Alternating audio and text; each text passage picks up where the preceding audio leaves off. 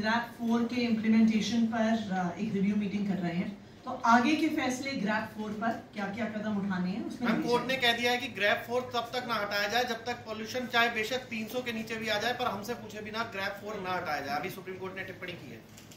देखिए ग्रैप के तो जो नियम आ, सारे हैं वो सेंट्रल एयर क्वालिटी कंट्रोल के नॉर्म्स के हिसाब से किए जाते हैं। उसमें किसी भी सरकार की का कोई हस्तक्षेप नहीं होता है।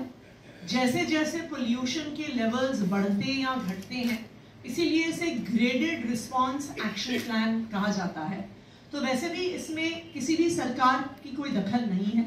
जैसे सेंट्रल एयर क्वालिटी कमीशन का ग्रैप का लेवल डिसाइड किया जाएगा सरकार उस हिसाब से एक्शन